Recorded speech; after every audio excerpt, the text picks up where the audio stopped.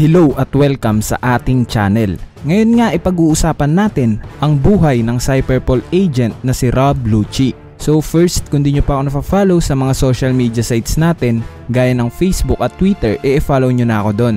Bali ilalagay ko na lang yung mga link ng page natin sa description sa ibaba. At sa mga hindi nakakaalam, eh meron na nga tayong second channel. At ito nga yung Raichu PH. Bali ilalagay ko na lang rin yung link ng second channel natin sa description sa ibaba. So bago tayo magumpisa, eh alam nyo na, intro muna tayo. Slick talker since a jet. Wanna talk all the time, ooh, yeah. Look at the way that I move, swag. Disrespectful and I'm rude, okay.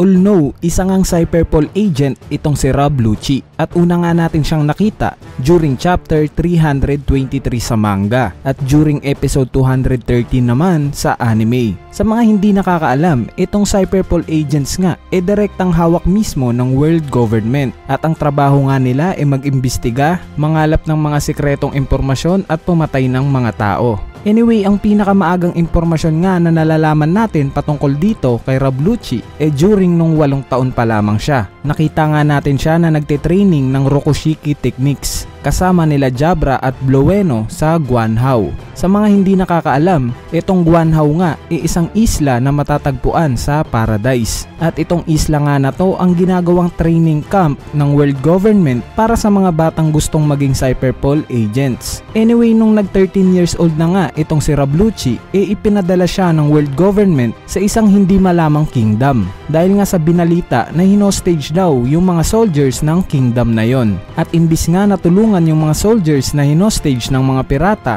e eh pinatay lahat yon ni Rob Lucci. Yes guys, yung limang daang soldiers nga, e eh pinatay niya lang. E Kuya Inero, bakit naman pinatay ni Rob Lucci yung mga soldiers? Eh di ba dapat e tutulungan niya yon? Supposed to be dapat nga itutulungan niya yon. Pero base nga sa hustisya na meron itong si which is yung excessive justice, eh ang nasa isip niya nga lang that time, eh napakahihina at walang kwenta ng 500 na soldiers. Dahil hindi nga nila magampanan yung tungkulin nila na maprotektahan yung kingdom nila. Kaya naman pinatay niya na lang sila. At yung mga pirata naman eh pinatay niya rin syempre. Kaso sa naging laban nga niya sa mga pirata, eh nagkaroon siya ng sugat at naging marka pa ngayon sa likuran niya. So fast forward tayo 5 years bago yung time na pumunta sila Luffy ng Water 7, eh nagkaroon nga ng secret mission itong CP9. Sa mga hindi kilala itong CP9, eh ito nga sila Jabra, Kaku, Fukuro, Khalifa, Kumadori, Blueno at si Rob Lucci. Bali ang misyon nga ng mga ito sa Water 7 ay ang kuhain ang blueprints ng Pluton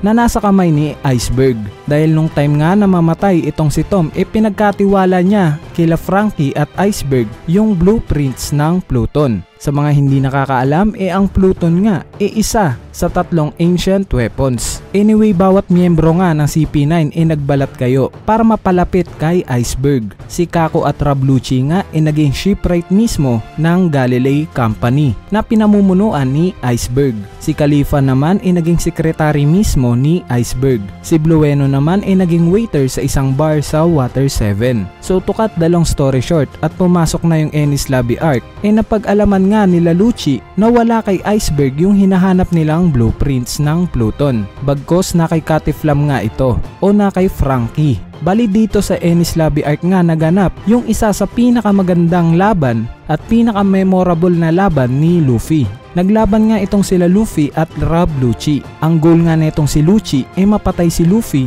at yung buong Straw Hat Pirates. At si Luffy naman ay ang mailigtas si Nico Robin. Sa paghaharap nga nilang dalawa, eh dito natin unang nasaksihan yung Devil Fruit abilities ni Rob Lucci. Bali nakakain nga itong si Rob Lucci ng Carnivorous Soan type Devil Fruit na tinatawag na Neko Neko Nomi Model Leopard. So as the name itself guys, leopard. Meaning kaya ni Rablucci na mag-transform into full leopard form or into hybrid form. Itong carnivorous devil fruit nga gaya ng nakain ni Lucci ay mas malakas compare sa mga normal lang na Zoan type devil fruit dahil mas ferocious, mas malakas at mas may enhance nga neto yung bilis ng user neto.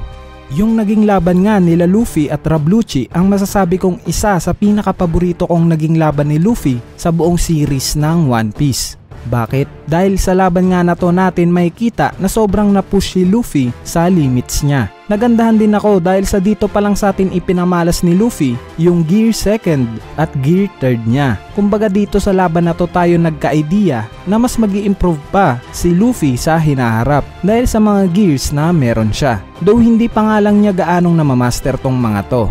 Anyway, nagtapos nga yung laban nila Luffy at Rabluchi dahil sa motivation ni Usopp kay Luffy. Dito nga iginamit ni Luffy yung jet gatling niya hanggang sa mawalan ng malay itong si Rob Lucci at dito tuluyan na ngang nakatakas ang Straw Hat Pirates. Bali susunod na nga nating makikita itong si Rob Lucci e during sa isang cover story in chapter 492. Dito nga e ipinakita na pagtapos matalo ni Luffy si Rabluchi e nailigtas pala siya ni Blueno gamit yung air door niya. At dito kasama yung ibang CP9 members e nagpunta sila sa isla ng Poplar para nga ipagamot si Rabluchi mula sa mga natamo netong sugat mula kay Luffy. Dito naging street performer nga itong mga CP9 para makalikom ng pera sa pagpapagamot kay Rob Lucci. At nung time nga na gumaling na itong si Rob Lucci, esaktong dumating nga yung Candy Pirates. Dahil sa nalaman nga nila na nasa isla na yung CP9. Kaya naman dito eh saglit lang pinabagsak ni Lucci yung captain ng Candy Pirates. At pagtapos nga ng insidente na yon, e napagpasyahan ng buong CP9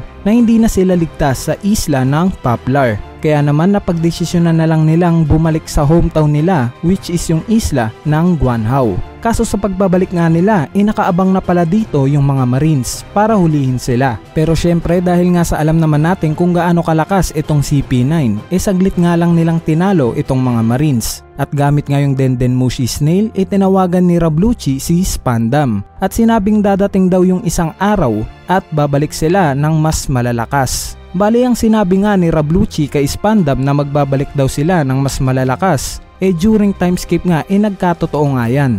Dahil bumalik na nga si Rabluchi bilang miyembro ng CP0 at una nga natin siyang nakita during Punk Hazard Arc kung saan nanood siya sa naging laban nila Luffy at Cesar the Clown. Susunod na nga nating makikita itong si Rabluchi eh during Dressrosa arc kung saan nag-uusap sila ni Spandam patungkol sa nawawalang ebidensya laban kay Do Flamingo. Ang pinagsusospechahan nga ni Rabluchi na kumuha ng mga ebidensya na hinahanap nila ay yung Revolutionary Army. Anyway, ang huling appearance na nga ni Rabluchi e during Reverie Arc kung saan pinigilan niya sila Sai at Leo na iligtas si Shirahoshi mula sa isang world novel. Bali yan na nga yung summary ng buhay ni Rob Lucci.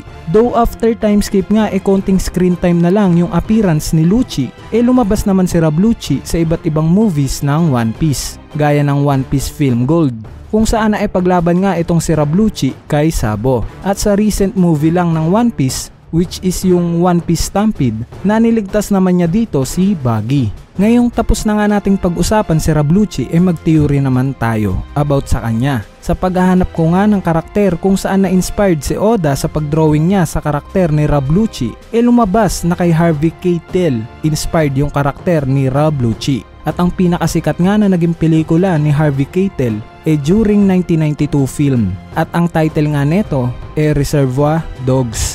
Bali ang kwento nga nito ay may grupo ng mga lalaki na nagsama-sama para sa isang heist o pagnanakaw ng diamond.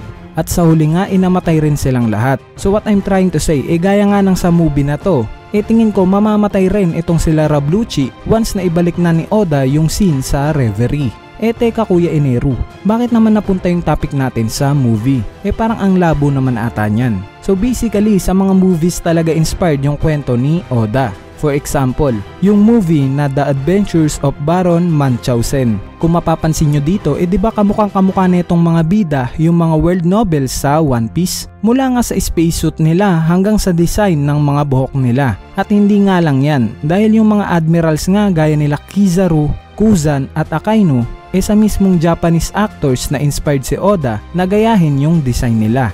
Ba? Kaya para sa akin hindi malabong mangyari na matulad sa movie yung mangyayari kay Rob Lucci at mamamatay talaga ito. Sa panong paraan? Hindi ko pa yan masasagot sa ngayon. Pero ang pinakamagandang pagkamatay niya e tingin ko ay magmumula kay Sabo. Since nasa reverie din siya sa oras na ipinakita si Rob Lucci. At gusto ko rin makita kung ano yung improvements ni Rob Lucci pagtapos ng 2 years time skip. Dahil isa nga si Rob Lucci sa mga nakaka-curious na karakter sa series ng One Piece. And that's it. Yan ang mas kilalanin series natin featuring Rob Lucci. So kung saaling nagustuhan nyo tong video na to, eh wag na kayong mahiyang pindutin yung like button. Dahil napakalaking tulong na nga yung like nyo para sa ating channel. At syempre wag nyo na rin kalimutang pindutin yung subscribe button para lagi kayong updated pag may bago tayong upload na video. So yun lang. Peace!